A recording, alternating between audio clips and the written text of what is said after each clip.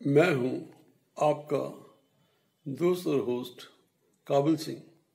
मैं आज आपको मेलबोर्न, ऑस्ट्रेलिया लेके चलूँगा, जहाँ पर कि कुछ दिन पहले मेरे ग्रैंडसन यानी कि दोते की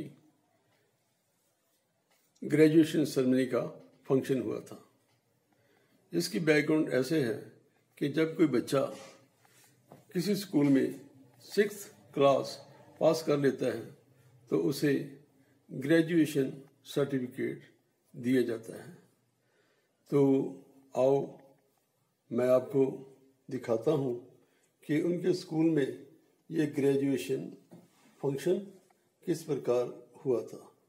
तो चलते हैं, मेलबॉर्न, ऑस्ट्रेलिया, ग्रेजुएशन सेरेमनी देखने के लिए।